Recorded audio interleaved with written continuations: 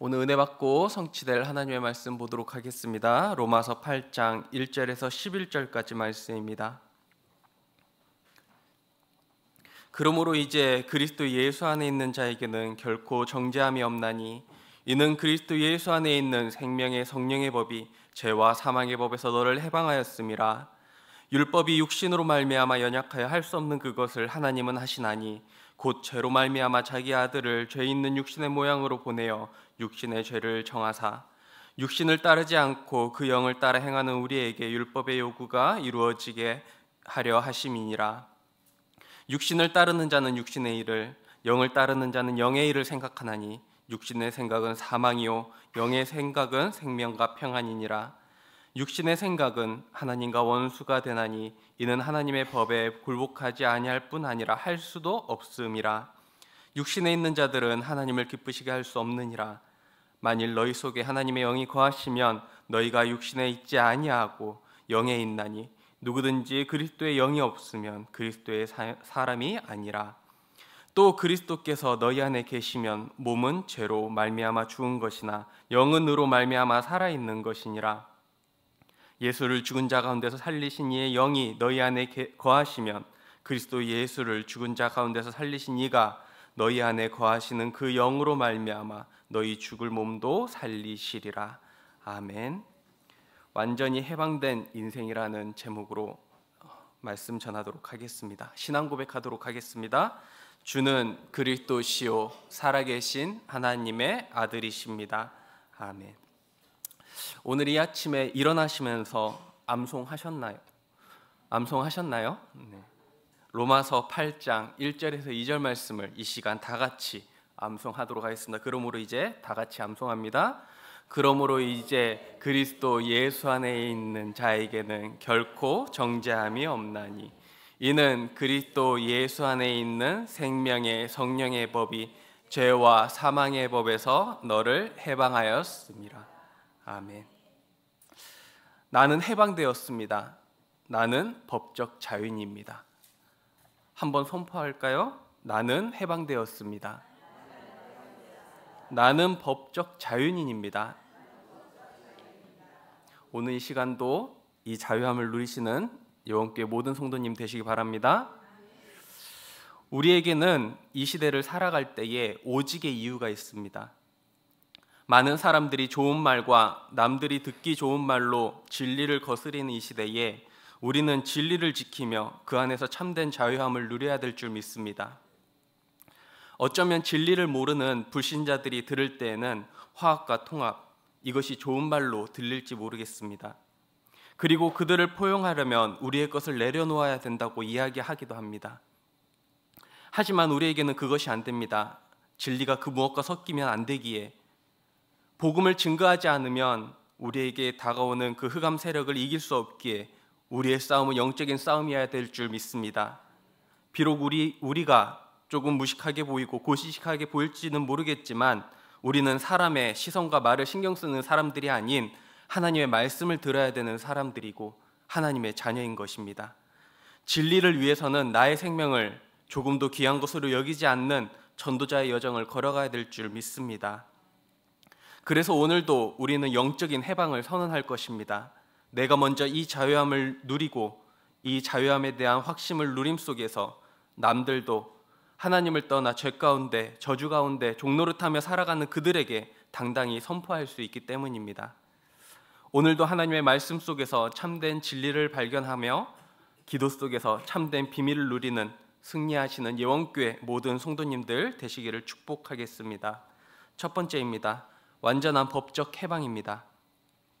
우리는 강단 말씀을 통해 그러, 그러므로라는 접속사를 통해 우리의 죄인이었던 신분을 고백하고 또한 이제부터는 그 죄 아래 있지 아니하는 신분임을 선포해야 될 줄 믿습니다.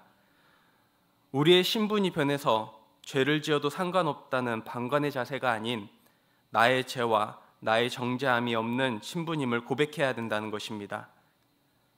우리에게 있어서 한 번 구원은 영원한 구원이며 그 누구도 끊을 수 없는 사랑의 구원인 것입니다. 하나님께서는 우리의 상태, 우리의 상처, 나를 나보다 더 잘 아시는 하나님께서 우리의 상태를 너무나도 잘 아시기 때문에 친히 하나님의 말씀을 통해서 우리에게 한 번 더 각인시켜 주고 계시는 것입니다. 그래서 우리는 이 시간에도 다시금 선포해야 될 줄 믿습니다. 그러므로 이제 그리스도 예수 안에 있는 자에게는 결코 정죄함이 없나니 이는 그리스도 예수 안에 있는 생명의 성령의 법이 죄와 사망의 법에서 너를 해방하였습니다. 모든 사람이 죄를 범하였음에도 불구하고 모든 사람이 죄를 범하였음에 하나님의 영광에 이르지 못하더니 이런 죄인이 죄인이었던 우리가 죄인이었음에도 불구하고 하나님 인간이 스스로 하나님을 만날 수 없음에 인간의 어떠한 노력에도 나의 죄를 사할 수 없기 때문에 지금도 우리를 공격하며 우는 사자처럼 두루다니며 삼킬자를 찾는 흑암 세력을 이길 수 없기 때문에 하나님께서는 예수 그리스도를 이 땅에 보내주셨습니다. 그 예수 그리스도를 믿고 참 자유함과 참 행복을 누릴 수 있는 것입니다. 저도 이 시간 예수 그리스도의 이름으로 선언합니다. 우리의 모든 문제 완전히 해결하셨습니다. 십자가에서 모든 것 다 이루셨습니다. 우리는 옛 체질로 인하여 우리의 불신앙 상태로 인하여 옛 체질로 돌아가려는 경향이 있습니다. 그것은 이스라엘 백성들을 보아도 잘 알 수 있습니다.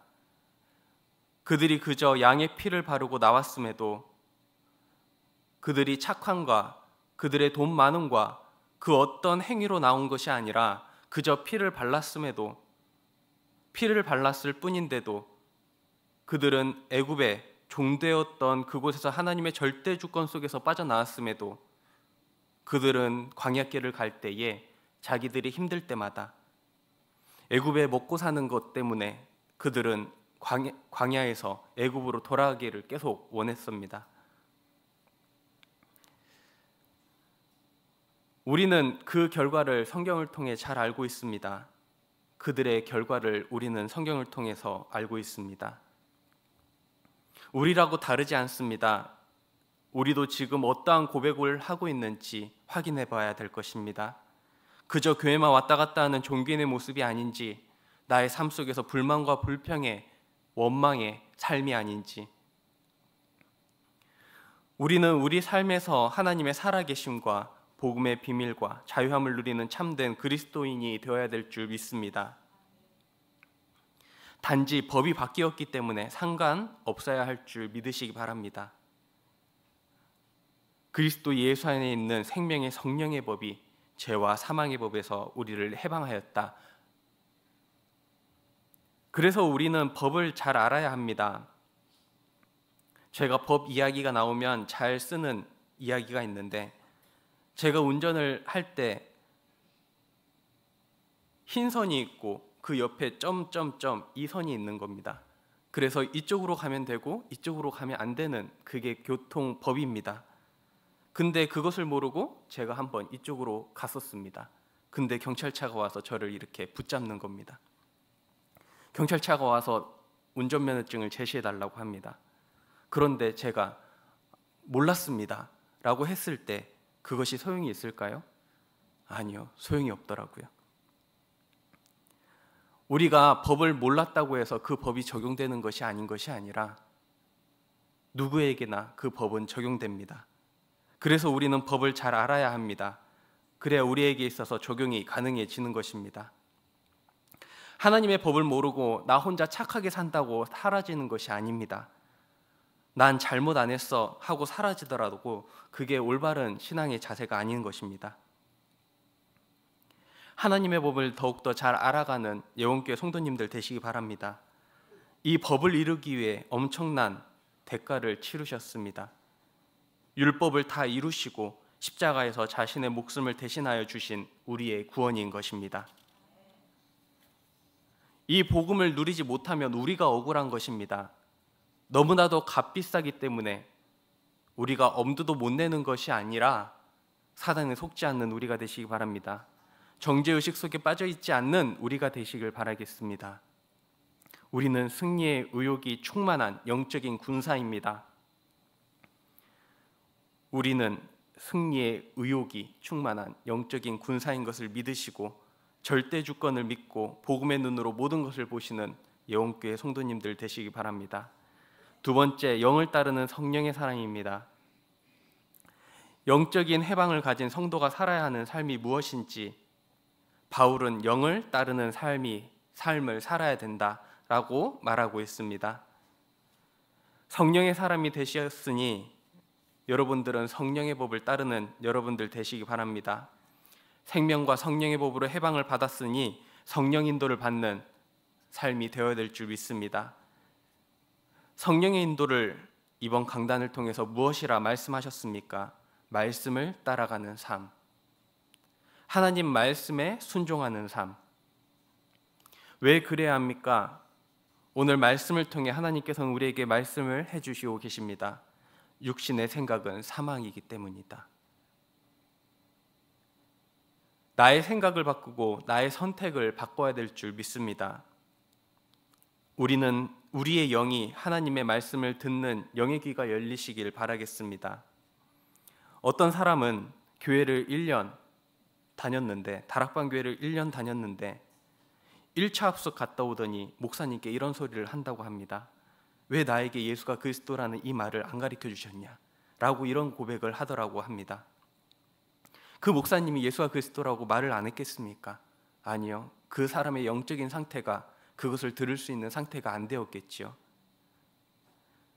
마찬가지입니다. 우리가 말씀을 듣고 있지만 우리의 영이 영적인 귀가 열리지 않으면 하나님의 말씀을 제대로 깨달을 수 없습니다. 그래서 우리는 말씀을 듣고 또 듣는 것입니다. 내 생각 속에서 하나님의 말씀이 들리지 않는 나의 상태가 아닌 온전히 하나님의 말씀을 하나님의 말씀으로 들을 수 있는 우리의 영적인 상태가 될 수 있도록 예배드리는 이 시간에도 우리의 영적인 상태는 변화되고 있는 줄 믿으시기 바랍니다. 지금 비록 하나님의 말씀이 잘 들리지 않더라도 우리는 계속 들어야 합니다. 우리의 불신자 상태에 있던 옛 체질에 있던 우리의 상태가 아닌 우리는 하나님의 자녀로서의 영적인 상태를 살아가야 되기 때문입니다. 나의 영적인 상태를 발견하는 오늘이 되시기 바랍니다.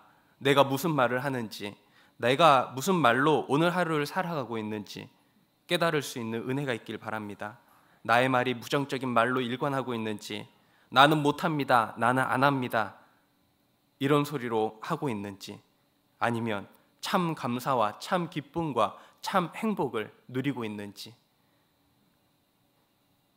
오늘 하나님의 말씀을 듣고 여러분들은 참 감사와 참 기쁨과 참 행복을 회복하는 예원교회 성도님들이 되시길 바라겠습니다. 결론입니다. 다섯 기초를 누리는 온전한 사천 말씀 운동이 일어났으면 합니다.